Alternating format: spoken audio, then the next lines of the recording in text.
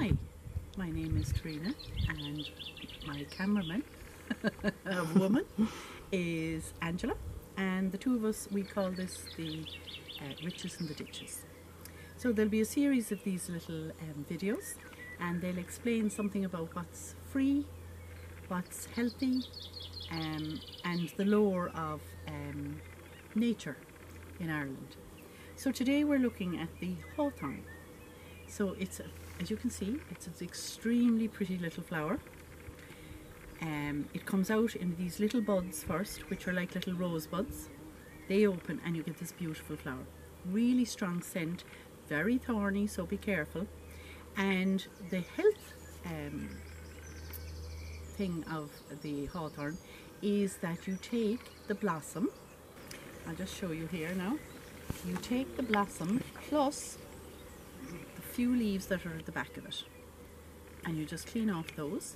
Then you put it into water in an ice cube tray and then freeze it.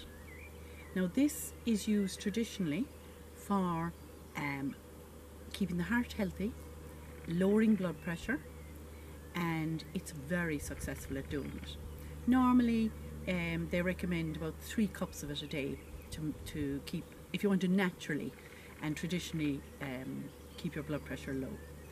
Then in the um, autumn you get a gorgeous red berry on this and then you can harvest that berry the same way, put it into your ice cube and freeze it and then you just take out your ice cubes, one of each, pop it in and you have a total um, fantastic health remedy for both your blood pressure and keeping the heart really healthy.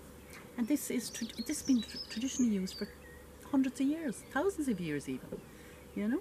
And most, I mean, May is the time to see the blossom. That's the time to harvest the blossom. If it goes too far and there's a lot of browning on the flowers, don't use it because that means the arsenic level in, in the blossoms might be a bit high. It's the same with um, elderflower, which we'll look at when that comes out.